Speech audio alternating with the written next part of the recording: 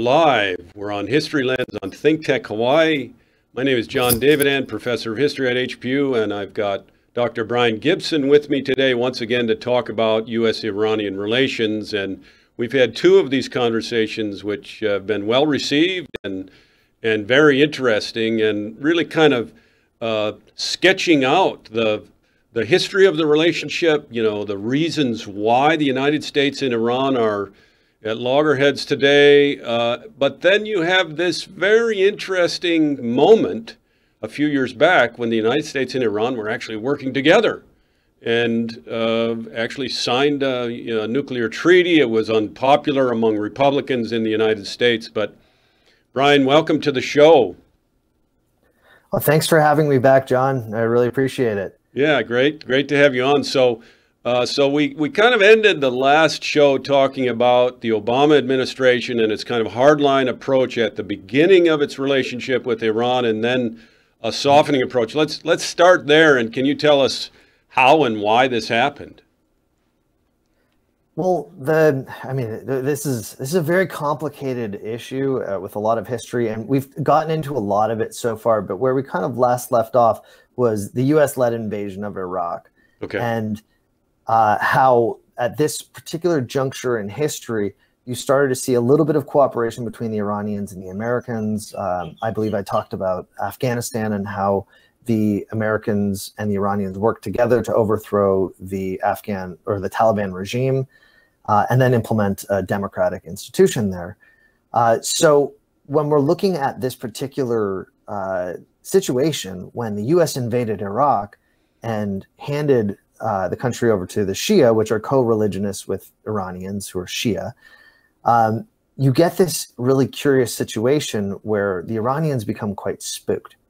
Now, the Iranians have had a nuclear program that goes back to the 1970s, uh, in which uh, the Nixon administration, actually, it even goes back in the 1950s with the Atoms for Peace program under oh, Eisenhower. Sure, sure. But it really starts to amplify uh, in the 1970s uh, under the Shah, which was, of course, an American ally. And so, an American ally is, you know, right. quietly pursuing weapons, the United States doesn't care. Right. But when, well, like in the case of Israel, for example, which is uh, an unofficial but right. definitely nuclear Clearly, state, they have nuclear weapons. Yeah. They definitely have nuclear weapons. Um, so, what's really interesting about this situation with Iran is the United States kind of turns a blind eye until the revolution happens. And the revolution changes everything because now this uh, very radical regime is potentially in possession of nuclear materials and in possession of uh, at least this the foundation for what could be a nuclear weapons program. Um, now, one thing that I should really distinguish off the bat, which most people don't quite do, is that a nuclear weapons program is one thing. A nuclear enrichment program is a different thing. Right, of course, so, yeah. Yeah. Uh, under is... the NPT, the, the Non-Proliferation Treaty, uh, which deals very specifically with nuclear technology, uh, countries are allowed to have nuclear programs. Uh, for example, I grew up in Canada, and just down the street from my house is a nuclear reactor that creates medical isotopes. Right, um, right. You need medical isotopes in order to treat cancer. It's yeah. essential. Uh, yeah. That's what chemotherapy is, right? Yeah. Um, so countries have a right to do this type of uh, enrichment. But when you start getting into the much bigger picture of uh, enrichment, where you're trying to seek nuclear weapons, yeah. that's a different story. Mm-hmm. Um, so, in the case of Iran during the 1980s, it didn't really deal with its nuclear program very much.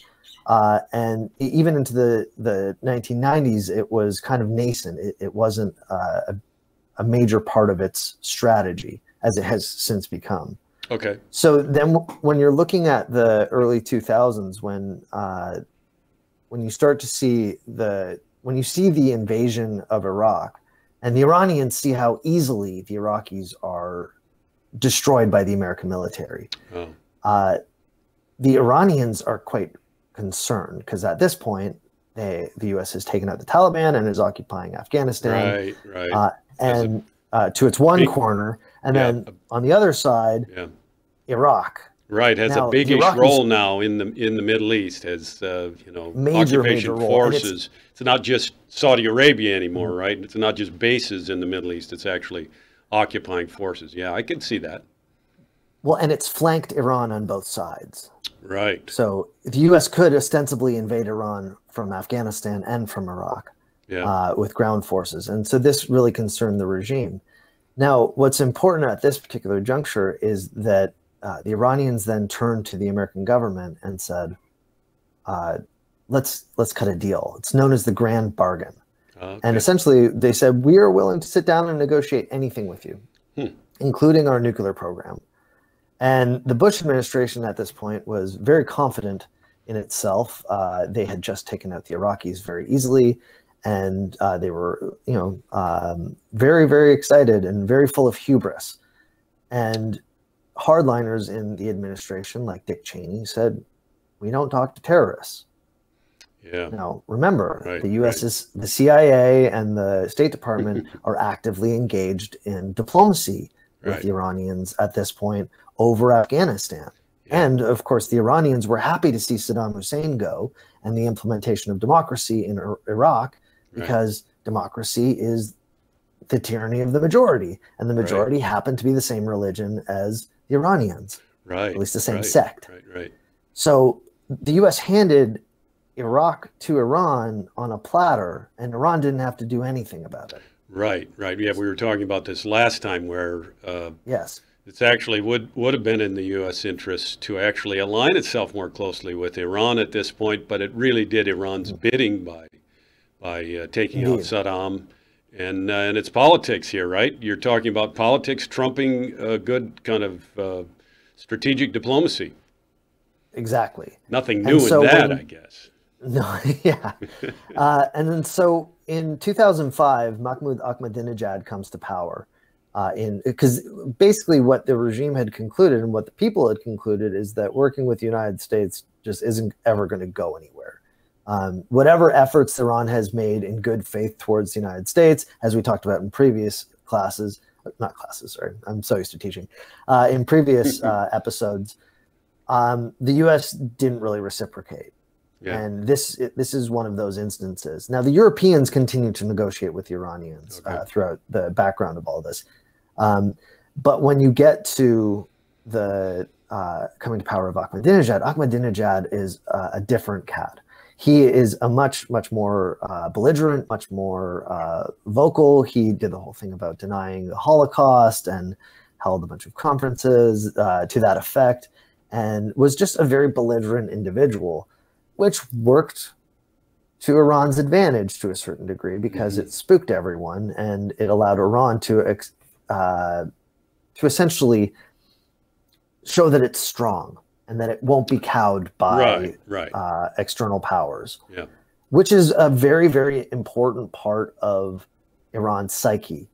Um, the psychology of the state is a steadfast determination to not be dominated by anyone other than themselves. Right. Um, uh, so, and this is a part of the big push behind its nuclear program is that it doesn't want to be reliant on the so uh, sorry the Russians or the Americans or the British or the French. It wants to be reliant on the Iranians. Yeah. And if it can maximize its sale of oil while diverting um uh, energy production, because most of its energy production has come from the burning of fossil fuels, if it can then develop a nuclear energy program, for example, then that's more that can be sold on the international market and less for domestic consumption. Right. Of course. That's yeah, at least part Sure. of their. Sure. their strategy. Yeah. Yeah. Um, makes sense. it, it creates less reliance on other places. right. Uh, so under Ahmadinejad, you start to see a lot more concern, and at this point, uh, they really, the Iranians really ramp up their nuclear enrichment program. Now, I should point out that the CIA in 2007 concluded that Iran had uh, dismantled its nuclear weapons program, capital W, Okay. weapons. Okay. Uh, they had dismantled it uh, permanently, and they concluded this. The Israeli Mossad has subsequently confirmed this conclusion. Uh, there's been no point since then that has uh, there, where there's been a suggestion by any official, real, true official intelligence channels that have suggested that the Iranians have resumed a nuclear weapons program. Okay, you're talking about enrichment, even even as of today. You're talking about. Yes. Okay. They, they have not gone for a bomb. Okay. They were going for one up until 2003. Why are we here? yeah. Talking about right the development of yeah, Iranian nuclear, nuclear weapons, and apparently they're not yet developing nuclear weapons in Iran. See, now this is the key point: is that you see constantly in the rhetoric of people who are opposed to Iran, uh, like like Trump, where they just say weapons in, in right. place of enrichment. Right. And those who are much more practical and who are, have studied the situation be like, no, it's enrichment, it's not weapons. Yeah. yeah okay. And the CIA are like, no, they're not going for weapons. okay. Keep coming to this okay. conclusion, and you keep saying weapons, but it's enrichment. But it's interesting. Iran, is, Iran today actually is using this idea that they might build a weapon uh, to to as negotiating leverage now to try to get the deal back, right? I mean, they're you know they're. I doubt that they would go for a weapon, because the thing is, to build a weapon, you need a lot of uranium. Right. Because uh, right. it's uh, think of it this way. Um, if you're here's an analogy that I often use with my students. If you're starting with uh, like near beer, like the 0.1% alcohol beer. and you need to turn that into 100% alcohol. You need to distill out all of the water, and you would need tons and tons and tons and tons and tons of this yeah. in order to create 1.5% beer. Sorry, sure, 5% sure, sure. beer. We're going now, nuclear imagine, weapons to near beer. An interesting show. but but that's that's it's a good analogy because then okay. if you want to get it to uh, from five percent to uh, 10%, then you need a lot of 5% beer combined right. together yeah, and again distilled down to so the they point just have to enrich, enrich, a lot more material than they, they have available right now. So yeah, understood. Now, the high that the Iranians got was 20% yeah. uh, enriched uh, uranium. To get a nuclear bomb, you need 90. Okay. Yeah. Now the yeah. distillation process, uh, essentially right. using that analogy, uh, is the same. So right. once you know how to uh, distill that near beer into a 1% beer, you can just keep doing it, but you have to do a lot of it in order to get yeah. that enough yeah. for one bomb. Right. But I guess now, my, my point was that the mm-hmm. Iranians have actually, so they've been accused of, of, you know, they're, they're ready to make uh, nuclear weapons, right? They're using that perception in the mm-hmm. West, right? They're using that yeah. perception to try to create uh, leverage, nervousness in the West among those who want to, you know, who who actually like the deal and want to get back the deal. They're trying to use this yeah. so they can get some leverage. So it's anyway, it's an interesting approach by Iran. I think it's a mm-hmm. smart mm-hmm. approach because they're actually using the negative rhetoric against the West. Yeah. So this is called strategic ambiguity. Now this is what yeah. Saddam did about okay. his WMD programs. Right, right, was right. Because you know he had fought that war with Iran that was quite brutal, and if he had said to the West, you know, I'm I actually don't have any of these weapons that I use to keep my country safe from Iran. The Iranians could then be like, "Oh, really? Yeah. You don't have those weapons anymore." Yeah, right, right, right. And then right, sure. They could attack. Okay, so, so Brian, we, yeah, we need to, sorry, we need to, we need to take a break right now, and we'll come back and we'll talk about the the treaty itself and and yep. prospects for it. Okay, great. Yeah.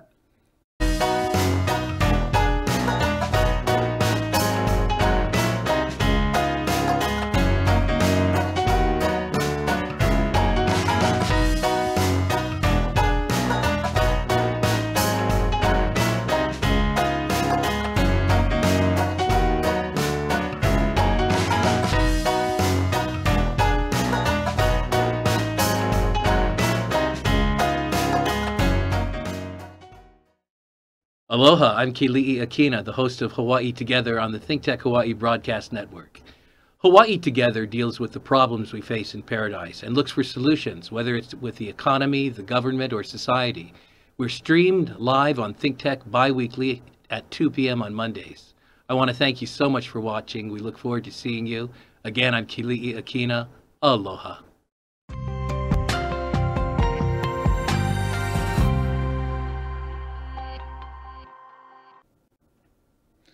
We're back. We're live. We're on History Lens, and we have Brian Gibson with us, Dr. Brian Gibson from Hawaii Pacific University, and, and we're talking about the Iran, the U.S.-Iran nuclear deal.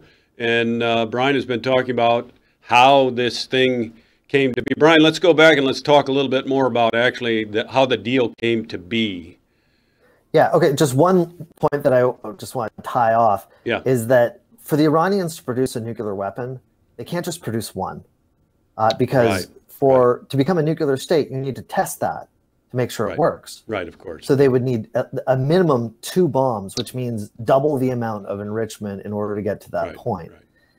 Now, uh, so turning just to this, uh, how this deal came about, a lot of it was uh, driven by Iranian belligerence initially, where they were really ramping up their enrichment process and learning how to, to master the fuel cycle.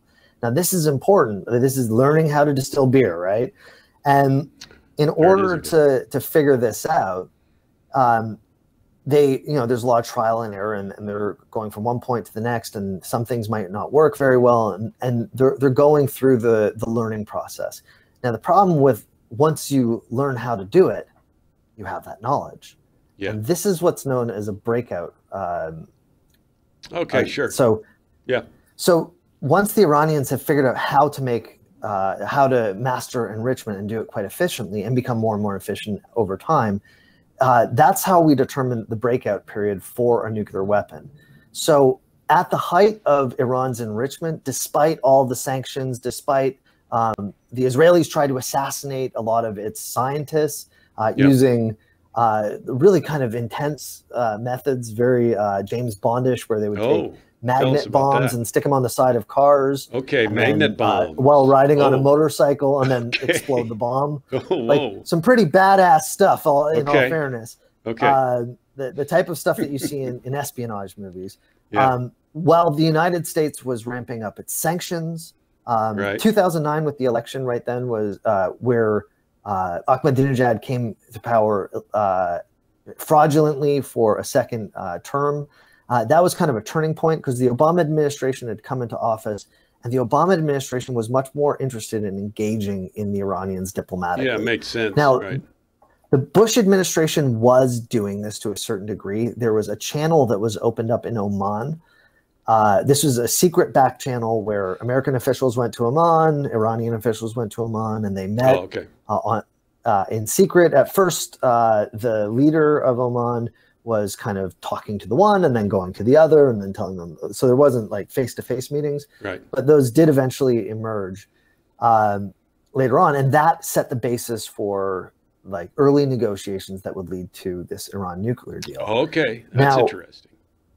Uh, meanwhile, the Obama administration was ratcheting up sanctions against the Iranians uh, quite extensively. Okay. Uh, these uh, essentially what the Obama administration strategy was was to cut the Iranians off of the global banking system, Okay. uh, and Huh. and while simultaneously convincing allies like the uh, South Koreans uh, or the Japanese to no longer purchase Iranian oil, uh, and these are major consumers of Iranian oil. Okay. Yeah. Uh, that's an issue. And so the U.S. would say we will provide you with oil through uh, Saudi Arabia or for, from ourselves or in our Yeah. own stocks. Hmm. And so they were basically trying to cut the Iranians off and hurt them economically. Now So they tightened so the screw. Yes. So, just a question. So, this is the Obama administration, and they wanted engagement, but they were using, I guess, pressure tactics to bring the Iranians around. Is that is that what's going on? Okay. Yeah. So so they're they're doing both. They're quietly negotiating with them in Oman, Yeah. well, ratcheting up the pressure on them Okay. uh, diplomatically and economically through these sanctions. Okay. And the thing is, is that the Americans were able to get the Russians and the Chinese and the British and the French all on board for these sanctions because you know if one of them doesn't agree to it, uh, then their uh, sanctions won't pass in the UN Right. Security Council. Right. Right.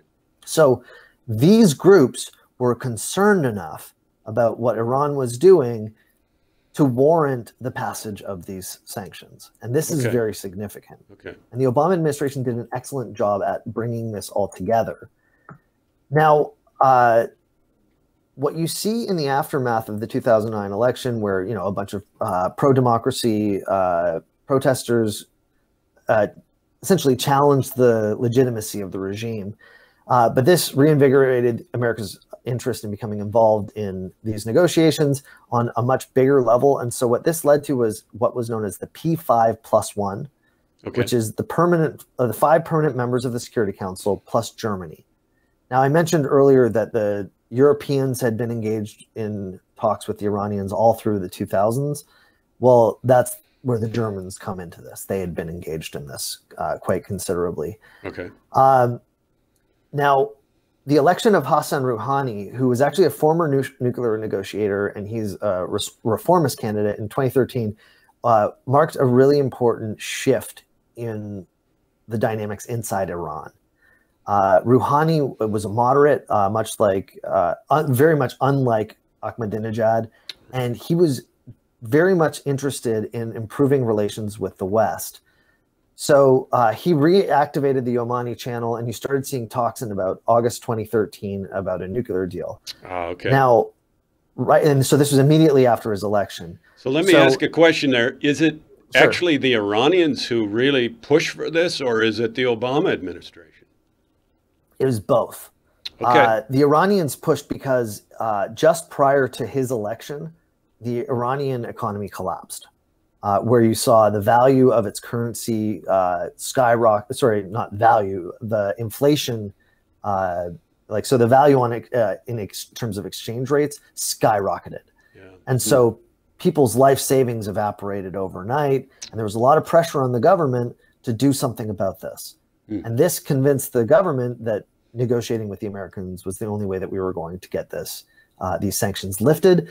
And that was ostensibly the basis for the nuclear deal. Iran okay. needed economic relief and right. wanted to be brought back into the international community, especially economically. And the Americans and the uh, P5 plus one essentially wanted Iran to give up its nuclear enrichment capability or at mm-hmm. least scale it back to a level that was uh, considered reasonable.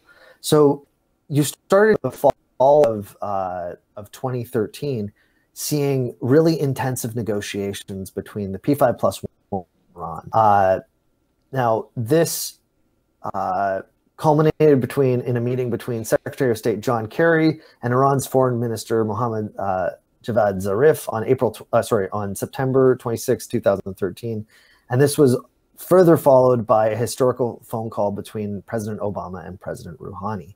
Now, that was the first time that you had gotten direct, high-level talks between the leaders of those two countries. Yeah, right. Um, which since 1979.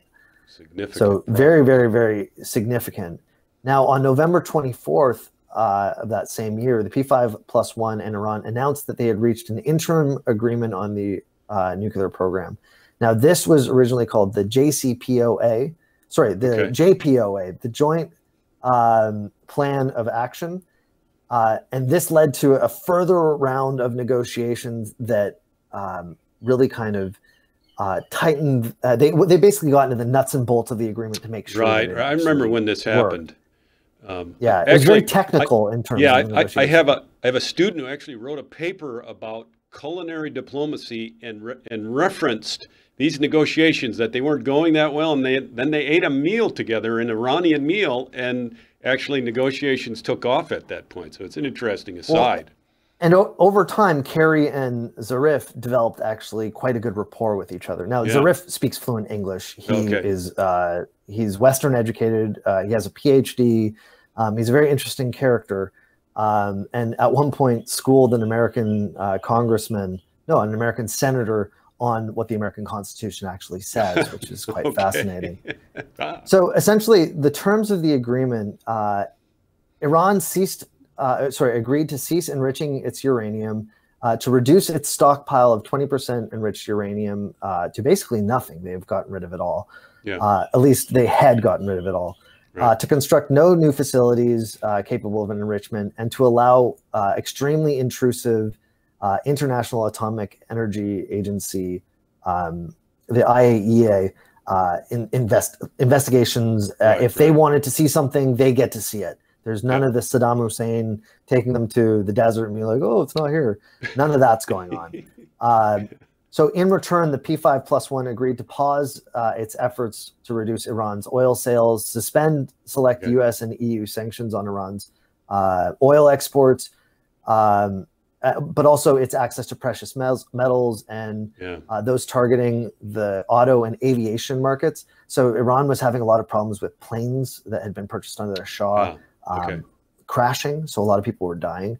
Oh. Um, and the U.S. agreed that it would implement no new sanctions against Iran and release uh, funds that had been held abroad from the sale of Iranian oil to, say, South Korea that had been allowed under the sanctions. Yeah. Yeah. yeah. But what all those funds were put into a, a separate bank account that was Okay. just Okay. holding it. Now that money turned out to be the like briefcases of uh, cash that were delivered to Iran that uh, President Trump likes to talk about. Oh. Um, it was never American money. okay. Uh, it was Iranian money. It was always held by American banks. okay. Now, over the next year, uh, Iran continued to meet its obligations under the agreement, and in April 2014, the IAEA confirmed that it had diluted 75% of its uh, 20% enriched uranium stockpile, prompting the U.S. to release $450 million. Ah, Uh, by July, Iran had complied with its obligations to neutralize its stockpile entirely and had capped its stockpile of 5% enriched uranium and it was not installing any new centrifuges or anything like that. Uh, okay. Essentially, it was following the exact terms of the agreement and Okay. was complying completely. Yeah. And this led to the Security Council. Uh, uh, th- sorry, for the next 20 months, there were these technical negotiations were going on, and then they announced uh, in July on in July 2015 the Joint Comprehensive Plan of Action, which was the final nuclear deal between Ah, uh, okay. the two sides. Okay. Okay.